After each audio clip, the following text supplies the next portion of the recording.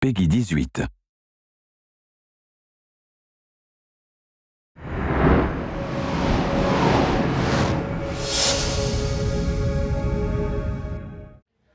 Hey guys, I'm uh, Jean-Francois Boivin and I'm associate producer on Assassin's Creed Brotherhood, just coming back from E3, which was an amazing E3 for uh, everybody on the project. Lots of awards, lots of uh, nominations as well. Great feedback from you guys, we really appreciate it.